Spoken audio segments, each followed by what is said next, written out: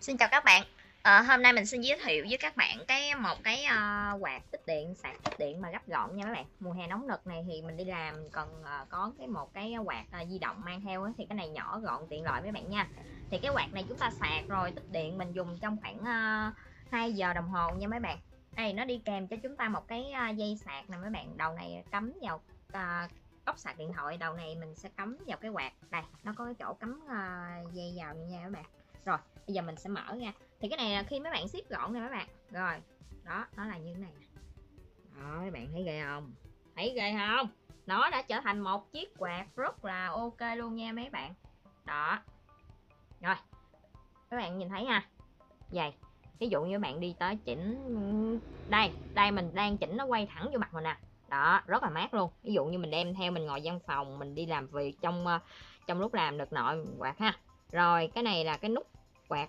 Đó các bạn thấy cái bóng đèn thứ nhất của nó không? Nó quạt rất mạnh nha các bạn. Đây là nút uh, tăng chỉnh thứ nhất. Rồi bây giờ mình bấm thêm một cái nữa. Đây mạnh hơn. Các bạn nghe đi nó xè xè xè hơn đó các bạn thấy không? Đó đó. Các bạn nghe rõ anh thôi ha. Giờ mình bấm thêm một nút nữa nè các bạn. Làm các bạn sẽ nghe nó mạnh hơn nè. Đó rất mạnh nha các bạn.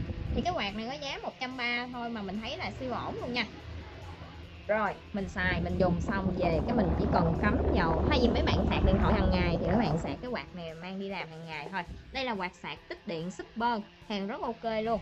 À, mình muốn giới thiệu với các bạn nha. Rồi bạn nào có nhu cầu mua hàng thì liên hệ với mình qua số điện thoại 0387728778 mình tên Thảo mình ở Tiền Giang nha các bạn. Rồi mình cảm ơn các bạn đã theo dõi video ạ. À. đây quay ở phía sau cho mọi người nha. Đó rồi bây giờ ha. Đây nó có cái thông số kỹ thuật này mọi người đây nè.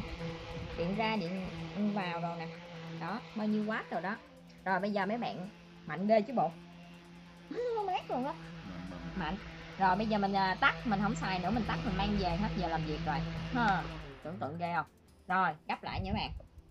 Nó Dạ. tiện cái là mấy bạn gấp được. Đó. Và ngoài ra nếu mà các bạn cũng như là nếu mà các bạn bạn mang cục sạc dự phòng theo á thì các bạn hay là cắm trực tiếp vô luôn. Nếu mà gấp quá đó thì các bạn hay là cắm trực tiếp vô cái này là các bạn cắm vô cái đầu USB của cục sạc dự phòng này đó các bạn cắm vô sạc trực tiếp luôn vẫn ok nha các bạn. Rồi Tuyệt hết Ok. đó. Quá ok mấy bạn. 130 ngàn cho một cái siêu phẩm như thế này thì quá ok rồi. Đúng không? Mà nói chung nào ngay thì hàng sạc tích điện thì ờ, cũng ổn. Đó cái đế bự. Rồi gấp gọn tiện lợi vô cùng cho mùa nắng nóng nực luôn. Rồi cảm ơn các bạn đã theo dõi video. Xin chào các bạn nha